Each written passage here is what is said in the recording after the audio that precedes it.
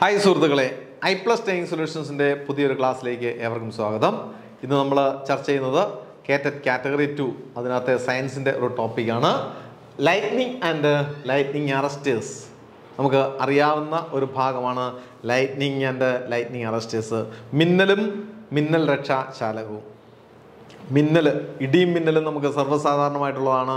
ആ മിന്നൽ എന്ന് പറഞ്ഞു കഴിഞ്ഞാൽ യഥാർത്ഥത്തിൽ അവിടെ വൈദ്യുത പ്രവാഹമാണ് ഉയർന്ന തോതിലുള്ള വോൾട്ട് വൈദ്യുതിയാണ് അവിടെ പ്രവഹിക്കുന്നതെന്നൊക്കെ നമുക്ക് പഠിച്ചിട്ടുണ്ട് എങ്ങനെയാണ് മിന്നൽ ഉണ്ടാകുന്നതെന്നൊക്കെ നമുക്കറിയാം അല്ലേ കാർമേഘങ്ങളിങ്ങനെ വിരുദ്ധമായിട്ടുള്ള ചാർജുള്ള കാർമേഘങ്ങൾ ഉണ്ടാകാറുണ്ട് അല്ലേ പോസിറ്റീവ് ചാർജുകളും നെഗറ്റീവ് ചാർജുള്ള വൈദ്യുത ചാർജുകളോടുകൂടിയ മേഘങ്ങൾ ഉണ്ടാകുന്നു ക്ലൗഡ്സുകൾ ഉണ്ടാകുന്നു അവ തമ്മിൽ കൂട്ടിമുട്ടുമ്പോൾ അല്ലെങ്കിൽ അവ തമ്മിൽ ആകർഷിക്കപ്പെടുമ്പോൾ ഉണ്ടാകുന്ന ഒരു പ്രതിഭാസമാണ് മിന്നൽ അപ്പോൾ അതിനോടൊപ്പം തന്നെ ആ സൗണ്ട് നമ്മൾ കേൾക്കുന്നു ഇടിയും മിന്നലും ഉണ്ടാകുന്നു എന്നൊക്കെ നമ്മൾ പഠിച്ചിട്ടുണ്ട് അപ്പോൾ ഈ കാർമേഘങ്ങൾ തമ്മിൽ കൂട്ടിമുട്ടുകയോ അല്ലെങ്കിൽ കാർമേഘങ്ങളും ഭൂമിയുമായിട്ട് അവിടെ ഒരു ബന്ധമുണ്ട് അപ്പോൾ അങ്ങനെയുള്ള ചാർജുള്ള അവിടെ മേഘങ്ങൾ ക്ലൗഡുകൾ രൂപീകൃതമാകുന്നു അതെങ്ങനെയൊക്കെയാണ് എന്ന് നമുക്ക് ഈ ഒരു ടോപ്പിക്കിലൂടെ നമുക്ക് നോക്കാം lightning is a giant spark of electricity അപ്പോൾ ലൈറ്റ്നിങ് എന്ന് പറഞ്ഞു കഴിഞ്ഞാൽ സ്പാർക്ക് ഓഫ് ഇലക്ട്രിസിറ്റി ആണ് ഉന്നതമായ വോൾട്ടേജോടുകൂടിയ ഒരു സ്പാർക്ക് ഓഫ് ഇലക്ട്രിസിറ്റി ആണ് ലൈറ്റ്നിങ് എന്നറിയപ്പെടുന്നത് in the atmosphere between clouds അത് കർമേഘങ്ങൾ തമ്മിലാകാം the air or the ground ഇത് ഈ കാർമേഘങ്ങൾ തമ്മിലോ വായുവിൽ വെച്ചോ അല്ലെങ്കിൽ ഭൂമിയിലേക്കോ ഈ ലൈറ്റ്നിങ് എന്നറിയപ്പെടുന്ന പ്രതിഭാസം ഈ സ്പാർക്ക് ഉണ്ടാകാം in the early stage of the development air act as an insulator between the positive and negative charges in the cloud and between the cloud and the ground യഥാർത്ഥത്തിൽ നമുക്കറിയാം എയർ എന്ന് പറയുമ്പോൾ യഥാർത്ഥത്തിൽ ഒരു ഇൻസുലേറ്ററാണ് എയറിനകത്തൂടെ കാര്യമായ തോതിലൊന്നും വൈദ്യുതി കടന്നു പോകത്തില്ല പക്ഷേ മിന്നലുണ്ടാകുമ്പോൾ ഉയർന്ന വോൾട്ടേജ് ഉണ്ടാകുമ്പോൾ ഇത് ഡിസ്ചാർജ് ചെയ്യപ്പെടുന്നത് ഇതുവഴി തന്നെയാണ് ഈ വായുവിലൂടെ തന്നെയാണ് അത് ഡിസ്ചാർജ് ചെയ്യപ്പെടും അപ്പം in the early stage of development air act as an insulator between the positive and negative charges in the cloud and between the cloud and ground അപ്പോൾ അവിടെ ക്ലൗഡും ഗ്രൗണ്ടും തമ്മിൽ അതിനിടയിലായിട്ട് എന്തുണ്ട് ഗ്യാസ് ഉണ്ട് അല്ലെങ്കിൽ അറ്റ്മോസ്ഫിയർ ഉണ്ട് അതിലൂടെ ഡിസ്ചാർജ് ചെയ്യപ്പെടും the evaporated water rises from the surface of the earth and goes up to the great height in our atmosphere ശ്രദ്ധിച്ചോണേ എങ്ങനെയാണ് ഈ പറയുന്ന മിന്നൽ ഉണ്ടാകാൻ കാരണം ഒന്നാമത്തെ പോയിന്റ് ഇതാണ് ദ ഇവാപ്പറേറ്റഡ് വാട്ടർ റൈസസ് നമുക്കറിയാം അന്തരീക്ഷത്തിലേക്ക് നമ്മുടെ വായു സോറി അന്തരീക്ഷത്തിലേക്ക് ജലകണികൾ എത്തുന്നു എങ്ങനെയാണ് ഇവാപ്പറേഷനിലൂടെ ബാഷ്പീകരണം നടക്കുന്നു അപ്പോൾ ജലാശയങ്ങളിലെ ജലം ബാഷ്പരൂപത്തിൽ ബാഷ്പീകരണം മുഖേന അന്തരീക്ഷത്തിലേക്ക് ഇങ്ങനെ ഉയരുന്നു here the warm droplets from the surface of the earth and going to the atmosphere and the cold water droplets are descending from the sky back to the earth in the form of thick rain clouds that bring rain into us അപ്പോൾ ഇവിടെ സംഭവിക്കുന്നത് മഴയുണ്ടാകുന്നത് എങ്ങനെയാണെന്ന് നമുക്കറിയാം ആ മഴയത്താണല്ലോ സാധാരണ ഇടിയും മിന്നലും ഉണ്ടാകുന്നത് അല്ലാതെ തെളിഞ്ഞ ആകാശമുള്ള സമയത്ത് ഉണ്ടാകത്തില്ല ഇടിയും മിന്നലും ഒക്കെ ഉണ്ടാകുന്നത് റെയിനി സീസണിലാണ് മഴയുണ്ടാകാൻ കാരണം എന്താണ് മഴയുണ്ടാകാനായിട്ട് നമ്മുടെ ബാഷ്പീകരണം മുഖേന ജലം ബാഷ്പരൂപത്തിൽ അന്തരീക്ഷത്തിലേക്ക് പോകുന്നു ആ അന്തരീക്ഷത്തിലേക്ക് പോകുന്നത് എങ്ങനെയുള്ളതാണ് വാം നല്ല ചൂടുള്ള ബാഷ്പീകരണം നടക്കുമ്പോൾ നമുക്കറിയാം നല്ല ടെമ്പറേച്ചർ സ്വീകരിച്ചുകൊണ്ടാണ് അത് ബാഷ്പരൂപത്തിലേക്ക് പോകുന്നത് അപ്പോൾ അത് വാം ക്ലൗഡുകളാണ് അപ്പോൾ അന്തരീക്ഷത്തിലേക്ക് മുകളിലേക്ക് പോകുന്നത് വാം ക്ലൗഡ്സ് ആണ് അങ്ങനെ വാം ക്ലൗഡ്സ് അന്തരീക്ഷത്തിലേക്ക് ചെല്ലുമ്പോൾ അന്തരീക്ഷത്തിൻ്റെ മുകൾ തട്ടിൽ തണുത്ത ക്ലൗഡുകളാണ് ആ ക്ലൗഡുകൾ മഴ മേഘങ്ങൾ എന്ന് പറയും അല്ലേ റെയിൻ ക്ലൗഡ്സ് അത് പതുക്കെ താഴേക്ക് ഇറങ്ങി വരിക ആ മഴമേഘങ്ങൾ താഴേക്ക് വരുമ്പോൾ ഖനീഭവിച്ച് തണുത്ത് അത് കുറേ കൂടെ കണ്ടൻസ് ചെയ്ത് കഴിയുമ്പോൾ കണ്ടൻസേഷൻ സംഭവിക്കുമ്പോഴാണ് മഴയായിട്ട് വെള്ളം എന്നുള്ള രൂപത്തിൽ വരുന്നത് അപ്പോൾ ഇവിടെ എന്താ സംഭവിക്കുന്നത് ഒന്ന് മുകളിലേക്ക് പോകുന്നു വാം ക്ലൗഡ്സ് മുകളിലേക്ക് പോകുന്നു കോൾഡ് ക്ലൗഡ്സ് താഴേക്ക് വരുന്നു അപ്പോൾ എന്ത് സംഭവിക്കും ഒരു ഫ്രിക്ഷൻ സംഭവിക്കും ശ്രദ്ധിച്ചോണേ അപ്പോൾ ഈ മഴമേഘങ്ങൾ മുകളിൽ നിന്ന് താഴേക്ക് വരുമ്പോൾ വാം ക്ലൗഡ്സ് നമ്മുടെ അറ്റ്മോസ്ഫിയറിൽ നിന്ന് അറ്റ്മോസ്ഫിയറിലേക്ക് താഴെ നിന്ന് എർത്തിൽ നിന്ന് മുകളിലേക്ക് പോകുന്നു അവ ശക്തമായ ഘർഷണം അവ തമ്മിൽ ഉണ്ടാകുന്നു ആര് തമ്മിൽ warm clouds and cold clouds മഴമേഘങ്ങൾ അല്ലെങ്കിൽ റെയിൻ ക്ലൗഡ്സ് അപ്പോൾ കോൾഡ് ക്ലൗഡ്സും വാം ക്ലൗഡ്സുകളും തമ്മിൽ പരസ്പരം ഘർഷണമുണ്ടാകുമ്പോൾ അവയ്ക്കിടയിൽ എന്തുണ്ടാകും അവിടെ ചാർജുകൾ ഉണ്ടാകുന്നു ഘർഷണ മൂലം എന്താണ് ഫ്രിക്ഷൻ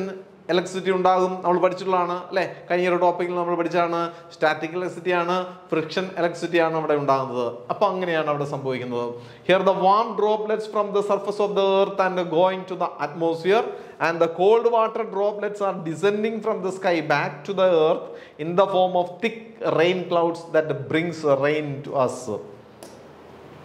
ദിസ് ഒപ്പസിങ് മോഷൻ ആരുടെയൊക്കെയാണ് വാം ക്ലൗഡ്സിൻ്റെയും അതുപോലെ തന്നെ റെയിൻ ക്ലൗഡ്സിൻ്റെയും അല്ലെങ്കിൽ കോൾഡ് ക്ലൗഡ്സിൻ്റെയും ഓപ്പോസിറ്റ് ആയിട്ടുള്ള ഈ ചലനത്തിലൂടെ hot air and cold air causes the exchange of electrons due to the friction and the mixing of the air high up in the atmosphere അപ്പൊ അവിടെയാണ് എന്ത് സംഭവിക്കുന്നത് hot air and cold air cold air എന്ന് പറയുന്നത് മുകളിൽ നിന്ന് താഴേക്ക് വരുന്നതാണ് ഹോട്ട് എയർ താഴെ നിന്ന് മുകളിലേക്ക് പോകുന്നത് അവ തമ്മിലുള്ള ഫ്രിക്ഷൻ മുഖേന അവിടെ എക്സ്ചേഞ്ച് ഓഫ് ഇലക്ട്രോൺസ് അവിടെ ഫ്രിക്ഷൻ സംഭവിക്കുമ്പോൾ ഇലക്ട്രോണുകളുടെ എക്സ്ചേഞ്ച് നടക്കുന്നുണ്ട് അപ്പൊ മിക്സിങ് നടക്കുന്നുണ്ട് this causes the top of rain clouds to develop an excessive positive charge അങ്ങനെ വരുമ്പോൾ the top of the rain clouds rain clouds മുകളിലാണുള്ളത് അല്ലേ അവിടെ നിന്ന് താഴേക്ക് വരുന്നത് ആ ക്ലൗഡുകൾക്ക് എക്സസീവ് പോസിറ്റീവ് ചാർജ് റെയിൻ ക്ലൗഡ്സുകൾക്ക് പോസിറ്റീവ് ചാർജ് ഉണ്ടാകുന്നു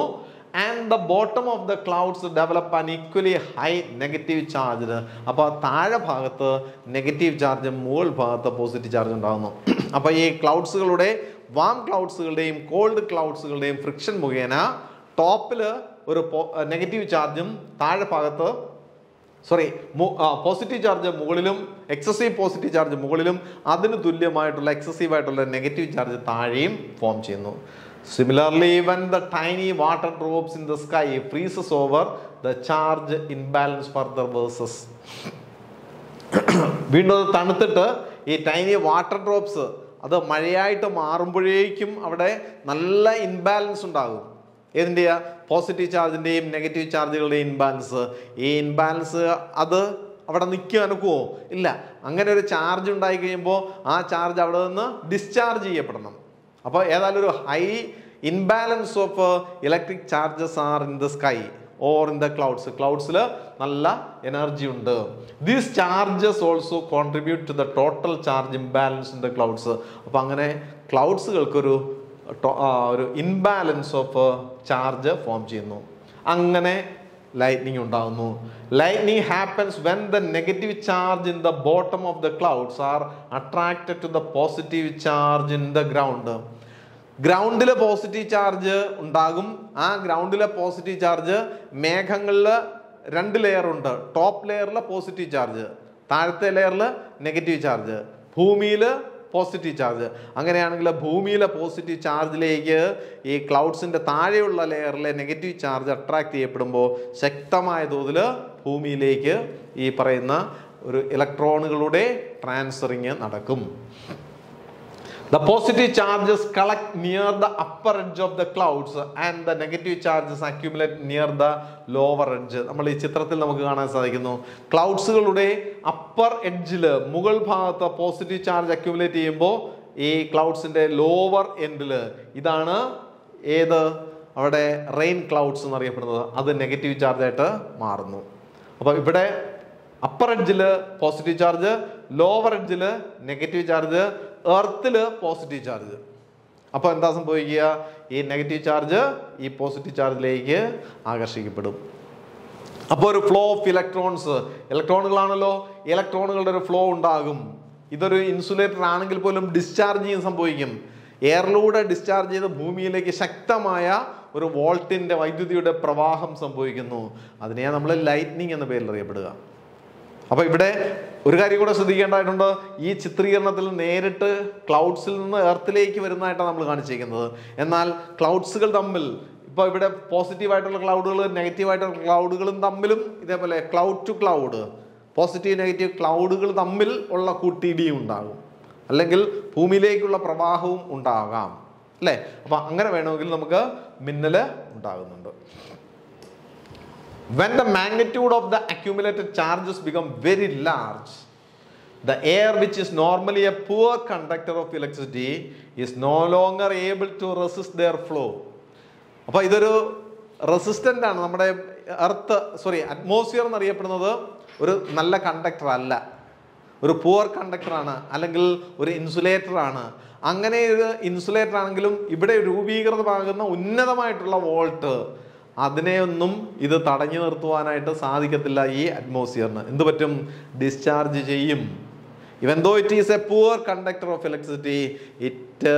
allow the entry or it allow the discharge of electricity during the lightning മിന്നലുണ്ടാകുമ്പോൾ ഈ വൈദ്യുത പ്രവാഹം അന്തരീക്ഷത്തിലൂടെ നടക്കും ഡിസ്ചാർജിങ് നടക്കും when the magnitude of the accumulated charges become very large ഇവിടെ അക്യൂമുലേറ്റ് ചെയ്യപ്പെട്ടിരിക്കുന്ന ആ ചാർജ് വളരെ അളവ് വളരെ കൂടുതലായതുകൊണ്ട് there which is normally a poor conductor ഒരു പൂർ കണ്ടക്ടർ ആണെങ്കിൽ പോലും is no longer able to resist there flow അത് അതിൻ്റെ ഫ്ലോയെ വൈദ്യുത പ്രവാഹത്തിനെ തടസ്സപ്പെടുത്തുവാൻ വായുവിന് കഴിയില്ല അപ്പോൾ നേരെ ഇങ്ങോട്ടിങ്ങ് പോരും വൈദ്യുതി negative and positive charges meet അപ്പോൾ അങ്ങനെയാണ് ഈ അന്തരീക്ഷത്തിൽ നിന്ന് അല്ലെങ്കിൽ ഈ പറയുന്ന ക്ലൗഡ്സിൽ നിന്ന് നെഗറ്റീവ് ചാർജുകൾ ഭൂമിയിലേക്ക് പോസിറ്റീവ് ചാർജുകളിലേക്ക് അട്രാക്ട് ചെയ്യപ്പെടുന്നു എന്ന് പറഞ്ഞു അല്ലേ അങ്ങനെ negative and positive charges meet producing streaks of bright light പലതരത്തിലുണ്ടാകാം ക്ലൗഡ്സ് ടു ക്ലൗഡ്സ് ആകാം അല്ലെങ്കിൽ ക്ലൗഡ്സ് ടു എർത്ത് ആവാം അപ്പോൾ ഏതായാലും negative charge to positive charge അങ്ങനെ വരുമ്പോൾ streaks of light and sound ശക്തമായ ആ ഒരു ഇടിയും മിന്നലും നമുക്ക് രൂപീകൃതമാകും we see streaks as lighting നമ്മൾ കാണുന്നത് മിന്നൽ the process is called as electric discharge എന്താണ് മിന്നൽ സംഭവിക്കുക ദ ലൈറ്റ്നിങ് എന്നറിയപ്പെടുന്ന പ്രതിമാസത്തിൽ the discharge of electric charge electric discharge ആണ് സംഭവിക്കുന്നത് ഇലക്ട്രിസിറ്റിയുടെ ഡിസ്ചാർജ് ആണ് സംഭവിക്കുന്നത് the process of electric discharge can occur between two or more clouds എങ്ങനെയൊക്കെ സംഭവിക്കാം ഈ ഇലക്ട്രിക് ഡിസ്ചാർജുകൾ ടു ഓർ മോർ ക്ലൗഡ്സ് രണ്ടോ അതിലധികമോ ക്ലൗഡുകൾ തമ്മിൽ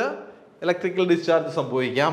or between clouds and the earth അല്ലെങ്കിൽ എർത്തും ക്ലൗഡ്സുകളും തമ്മിൽ ഈ ഇലക്ട്രിക്കൽ ഡിസ്ചാർജ് ഇറങ്ങും അതാണ് നമ്മൾ പറഞ്ഞത് അല്ലേ രണ്ട് രീതിയിലുണ്ടാകാം മിന്നലുകൾ ഈ വാ ക്ലൗഡ്സുകൾ തമ്മിൽ ഇതേപോലെയുള്ള ഡിസ്ചാർജിങ് സംഭവിക്കും അല്ലെങ്കിൽ ക്ലൗഡ്സ് ടു എർത്ത് അങ്ങനെയും ഡിസ്ചാർജ് നടക്കും ഏതായാലും ഇലക്ട്രിക്കൽ ഡിസ്ചാർജിങ് നടക്കുമ്പോഴാണ് ഈ ലൈറ്റ്നിങ് എന്നറിയപ്പെടുന്ന പ്രതിഭാസം ഉണ്ടാകുന്നത് അതിനോടൊപ്പം തന്നെ ആ ശബ്ദം നമുക്ക് കേൾക്കുവാനായിട്ട് സാധിക്കും അത് ഇടി എന്ന പേരിലാണ് അറിയപ്പെടുക അപ്പോൾ ഇടിയും മിന്നലും ഉണ്ടാകുന്ന കാര്യം നമ്മൾ പഠിച്ചു അഡ്വാൻറ്റേജ് ഓഫ് ലൈറ്റ്നിങ് ലൈറ്റ്നിങ്ങിന് എന്തെങ്കിലും അഡ്വാൻറ്റേജ് ഉണ്ടോ ഉണ്ട് തീർച്ചയായിട്ടും ഉണ്ട് മിന്നൽ എന്ന് പറയുന്ന പ്രതിഭാസത്തിന് ചില ഗുണങ്ങളുണ്ട് എന്തൊക്കെയാണ് ഗുണങ്ങൾ the lightning help to clear the atmosphere of dust and other particulates pollutants by combining these particles and making them heavier to fall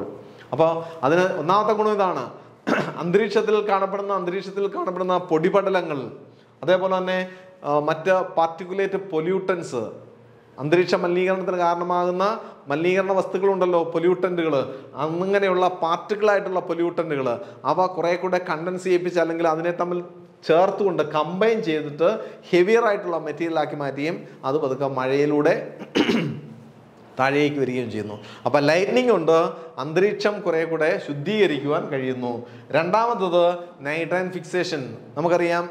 സ്വാഭാവികമായിട്ടും നൈട്രജൻ ഫിക്സേഷൻ നടക്കുന്നത് ലൈറ്റ്നിങ് ആൻഡ് തണ്ടർ സമയത്താണ് അന്തരീക്ഷത്തിലെ നൈട്രജനെ നൈട്രേറ്റ് ആക്കി മാറ്റുകയും മഴയിലൂടെ നൈട്രേറ്റ് മണ്ണിലെത്തുകയും ചെയ്യുന്നു ഇത് ചെടികൾ വലിച്ചെടുക്കുന്നു അങ്ങനെയാണ് നൈട്രജൻ ഫിക്സേഷൻ നടക്കുന്നത് പലതരത്തിലുള്ള നൈട്രജൻ ഫിക്സേഷൻ ഉണ്ട് അതിലൊരു വിധത്തിലുള്ള നൈട്രജൻ ഫിക്സേഷൻ ലൈറ്റ്നിങ്ങിൻ്റെ സമയത്ത് ഉണ്ടാകുന്നതാണ് അപ്പോൾ അത് രണ്ടാമത്തെ ഗുണം മൂന്നാമത്തത് ഇറ്റ് ക്രിയേറ്റ് ഓസോൺ നമുക്കറിയാം ഓക്സിജനും അതേപോലെ തന്നെ നേസൻ്റെ ഓക്സിജൻ ഓയും ഓ ടുവും തമ്മിൽ ചേർന്നാണ് ഓസോൺ ഉണ്ടാകുന്നത് പോകുന്നത് ഇങ്ങനെ ഓസോൺ ഉണ്ടായെങ്കിൽ മാത്രമേ ഈ ഓസോൺ അംബ്രല്ല എന്നറിയപ്പെടുന്നത് അൾട്രാവയലർ റേഡിയേഷൻസ് എന്നൊക്കെ നമ്മുടെ അറ്റ്മോസ്ഫിയറിലെ അല്ലെങ്കിൽ ജീവജാലങ്ങളെ സംരക്ഷിക്കുന്നത് ഓസോൺ അംബ്രല്ലയാണെന്നൊക്കെ നമ്മൾ പഠിച്ചിട്ടുണ്ട് അല്ലേ ആ ഓസോണിൻ്റെ ഫോമേഷന്